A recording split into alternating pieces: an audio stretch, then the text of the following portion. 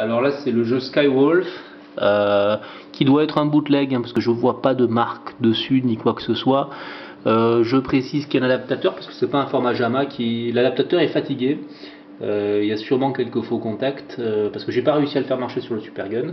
Donc là, on va le mettre sur la borne. j'ai testé juste avant. il nous fait un arrêt sur un sound test, et en fait, a priori, il marche normalement. Voilà, donc je le précise. je pense que soit il faut refaire un adaptateur JAMA, soit il faudra un petit peu nettoyer les connecteurs. Euh, bon, le, jeu fonctionne, visiblement il est opérationnel. Euh, il y a juste ce bug au démarrage. je vais vous montrer ce que c'est. Bon, on va le mettre en route. toujours pareil, j'ai pas réglé l'écran en horizontal et toujours vertical. Mais ça permettra déjà de se faire une bonne idée du truc. Voilà, donc c'est en train de charger. Et normalement, si ça fait comme il y a deux minutes, voilà, en fait il reste bloqué. Soundcheck 0.1. Voilà. Pourquoi, comment Est-ce qu'au bout d'un moment il se débloque ou pas J'en sais rien. J'ai pas attendu, donc je vais mettre des crédits. Voilà. Donc voilà, il y a du son. Voilà. je mets un joueur. Alors, le son est normal, euh, l'image est normale aussi, j'ai l'impression qu'il y a des couleurs normales. Euh, rien de spécial à dire, mais bon, il y a ce truc au démarrage.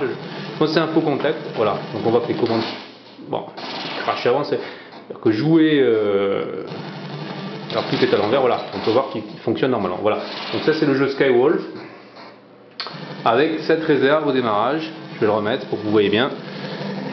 J'éteins je rallume. Avec cette réserve voilà il reste sur soundcheck 0.1 alors peut-être il y a un deep switch euh, à régler peut-être il y a un truc à faire je sais pas. Je vais pas y passer le réveillon voilà. Donc je le signale. Il y a ça. Je remets un crédit. Voilà Skywolf.